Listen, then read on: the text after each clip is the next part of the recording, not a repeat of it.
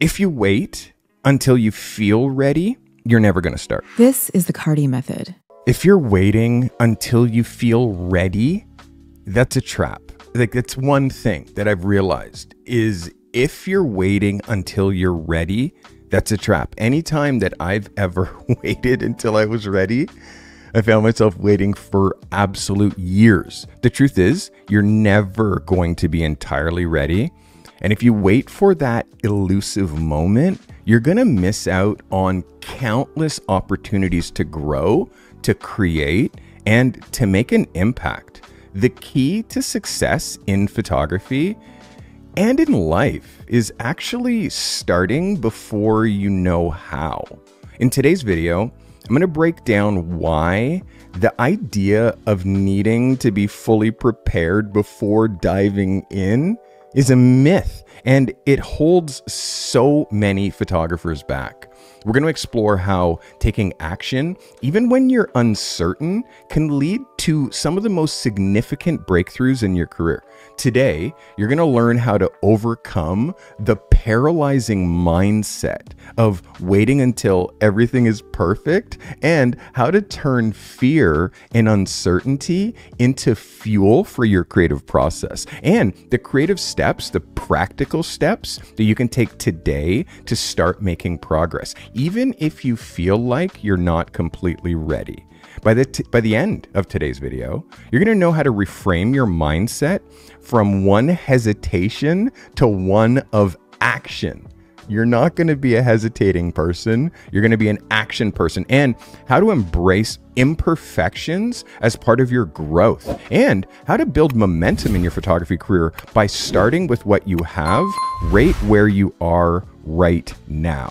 So, how do you start before you know how? Oki, member for another 12 months. Thank you, Oki. I appreciate you. If there's one lesson that I've seen time and time again in my 34 years behind the camera, it's this. If you wait, you can't wait. So if you wait until you feel ready, you're never going to start.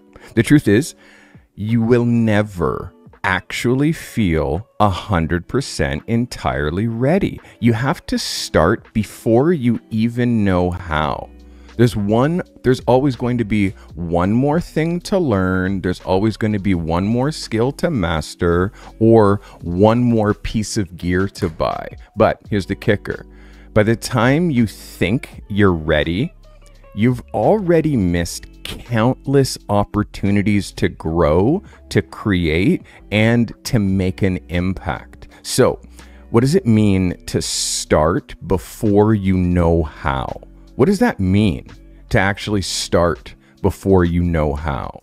What it means, it's about stepping into the unknown, embracing the uncertainty, and being willing to make pictures, to create content, and build your photography business, even if you don't have everything perfectly figured out.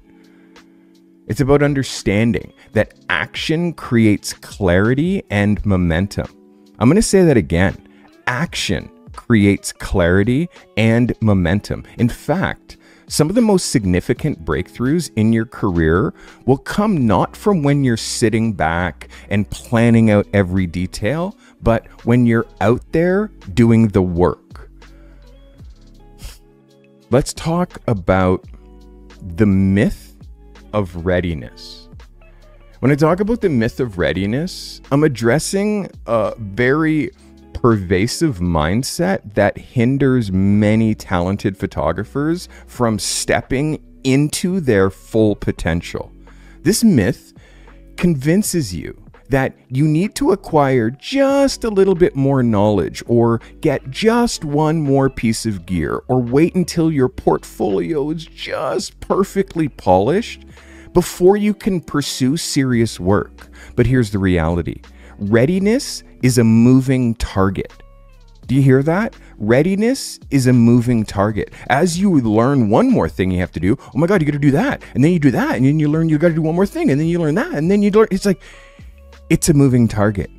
You might feel more prepared as you gain experience, but you'll also discover new challenges, new knowledge gaps along the way.